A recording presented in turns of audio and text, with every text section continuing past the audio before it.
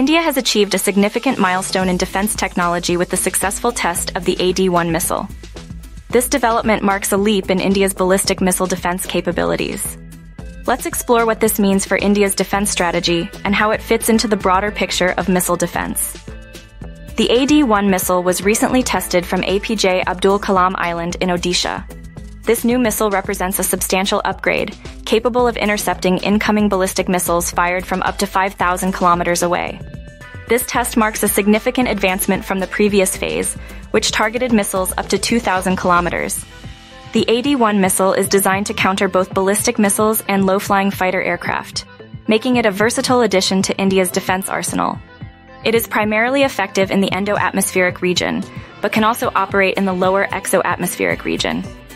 The AD-1 missile's enhanced capability is a game changer for India's defense. With the ability to intercept missiles from up to 5,000 kilometers away, it significantly extends the range of India's missile defense system. This advancement means that India can now handle much longer range threats, providing a robust shield against potential attacks. One of the standout features of the AD-1 missile is its dual function. It is designed to counter both ballistic missiles and low-flying fighter aircraft.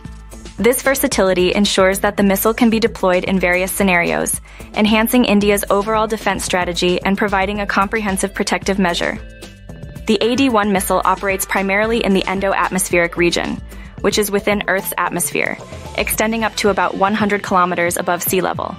However, it also has the capability to function in the lower exo-atmospheric region, where the atmosphere is extremely thin. This dual operational range adds to the missile's versatility and effectiveness. To fully grasp the AD-1 missile's capabilities, it's essential to understand the endo-atmospheric and exo-atmospheric regions, the endo-atmospheric region is the part of space within Earth's atmosphere, extending from the surface up to about 100 kilometers above sea level. Objects in this region face air resistance, affecting their trajectory, and weather conditions like wind and rain are significant factors. In contrast, the exo-atmospheric region starts above the endo-atmospheric boundary, where the atmosphere is extremely thin. Objects here experience near vacuum conditions with negligible atmospheric effects, and spacecraft are influenced more by gravity than atmospheric drag. The endo-atmospheric region includes lower orbits like low Earth orbit. Objects in this region are affected by atmospheric pressure and weather conditions, making it a challenging environment for missile interception. The exo-atmospheric region includes higher orbits and deep space. Conditions here are close to a vacuum with no significant weather effects, making it a different challenge for missile defense systems. The main differences between these regions lie in atmospheric impact and environmental conditions. The endo-atmospheric region has significant air resistance and weather effects, while the exo-atmospheric region has minimal atmospheric impact and vacuum-like conditions.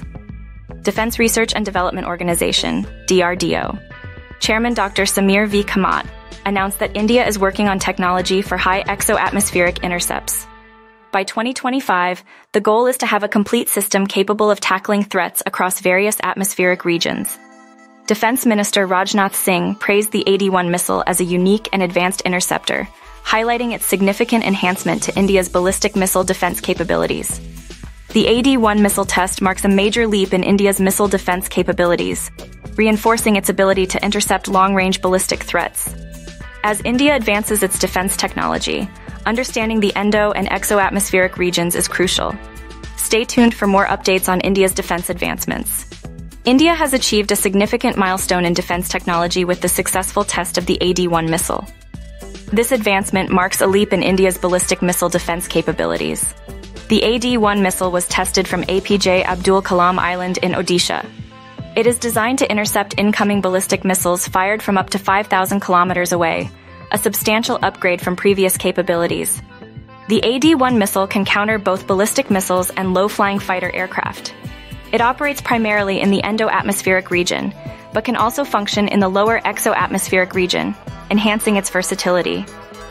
The endo-atmospheric region extends up to 100 kilometers above sea level, where air resistance and weather conditions affect objects. The exo-atmospheric region starts above this boundary, with near vacuum conditions and minimal atmospheric impact. Defense Research and Development Organization Chairman Dr. Samir V. Kamat announced plans for high exo-atmospheric intercepts by 2025, aiming for a comprehensive defense system. Defense Minister Rajnath Singh praised the AD-1 as a unique and advanced interceptor,